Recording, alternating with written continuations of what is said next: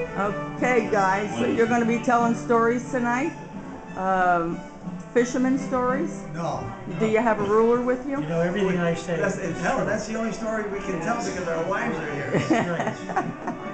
Okay, We we- can't, Trust we can't tell all the usual stories. we- we'll uh, see you on stage. Have fun. That's what Fish, but it's more when something happens occasionally and you have a little bit of a lapse and you think you're doing the right thing, it can get away from you. And I'm gonna start off with a story, uh, one of the instances that happened to me, uh, in the course of fishing some years back, actually, in two thousand and two, one of my friends that I was fishing with, his name is Charlie, he's here, I will introduce him, but I don't wanna wake him up. So, uh, anyway, uh, he introduced me to tagging striped bass. Does everybody know what a striped bass is? Perhaps more than anything. Well, yeah, uh, uh, the one thing I would like to mention, the three of us, uh, over the years, uh, there were a few newspaper articles on, but it wasn't about the three of us, there were four of us.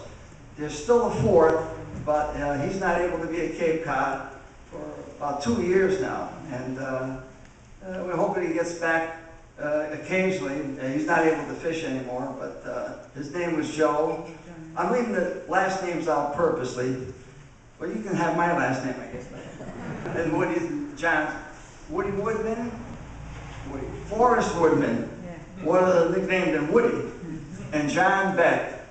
My favorite expression about John is this. On his 65th birthday, we had a birthday party at Sunken Meadow Beach. I think 250 people showed up.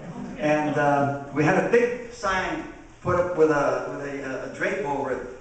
And uh, when he got down there, he and his wife Helen, are you taking pictures of this, Helen? Yes, I am. Oh my God. anyway, we, we pulled the, the cover off and it said, the only, thi- the only thing bigger than John Beck's heart is his bass. and that was true. Uh, well, at this point, uh, I'm going to shut up for a while. That's my big problem, talking too much. And uh, we'll start off with Woody, who's going to tell us one of his favorite stories. Well, I call,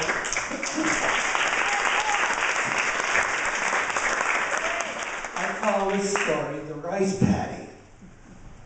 We were, four of us, Joe was with us that time, this time, and we were all down to Chatham fishing. And we had got into some pretty good fish, and pretty soon Paul says, you know, I gotta get home. We said, okay, so he goes to his truck and we bring the fish out, Joe and John and I, and we just get there and there's Paul raking in the sand. Looked like a rice paddy. What's going on, Paul? I lost my keys to the truck. Well, we start.